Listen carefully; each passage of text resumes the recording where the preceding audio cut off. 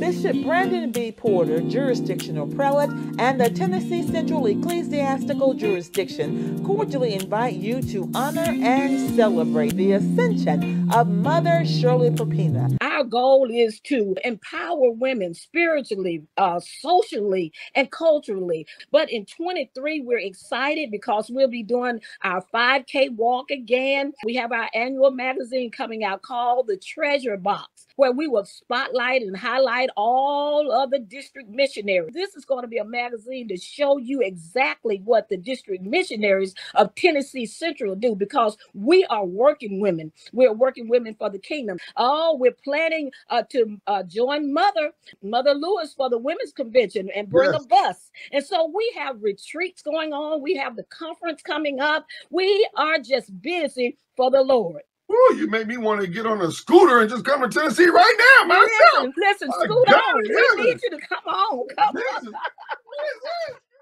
Elevation service on Sunday, November 6th at 6 p.m. to be held at the Greater Community Temple Church of God in Christ, 5151 Winchester Road, Memphis, Tennessee.